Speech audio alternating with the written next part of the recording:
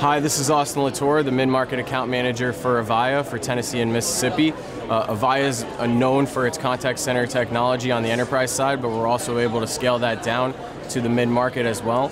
Uh, what we're able to do is use two, one of our two platforms, the IP Office or the CM Aura enterprise platform for contact center and regular unified communications functions. Uh, what we're able to do and what we're known for is our recording, reporting, and our ease of use of, and management. So we'd love to hear more about um, what your business does and have a custom tailored solution for you.